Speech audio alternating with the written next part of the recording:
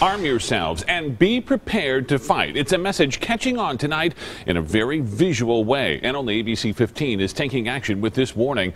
Kim Tobin is joining us now live. And Kim, this new movement would be pretty hard to miss out and about in public.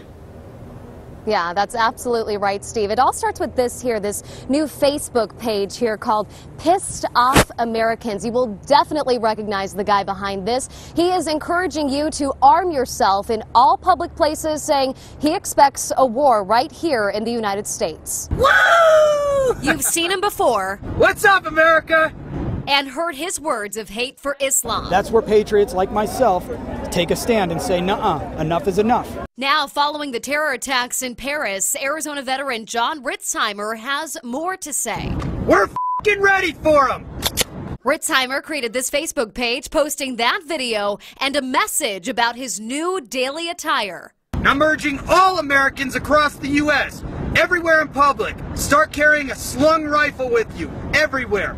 Don't be a victim in your own country. If you do sling a rifle behind your back, be ready to be stopped and questioned, like this Valley doctor who brought his AK 47 to the airport. All the way across America. Ritzheimer is on the road. He says he's headed to New York to confront writers at the Islamic Post who called him the real terrorist. So he sent me this separate video statement. They go after the weak, the innocent, and the unarmed.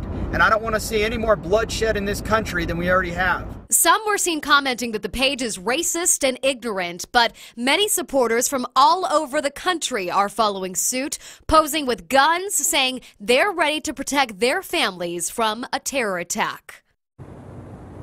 Now, I reached out to Tempe PD, Phoenix PD, kind of to ask their reaction on this, if it would cause problems to see people carrying their rifles around. Both of them declined to do an interview with me, but one source did tell me that may, while it may be legal, it's really not the wisest thing to do out in the public. Meantime, that original video that he posted right now, it has been viewed over 60,000 times. Back to you.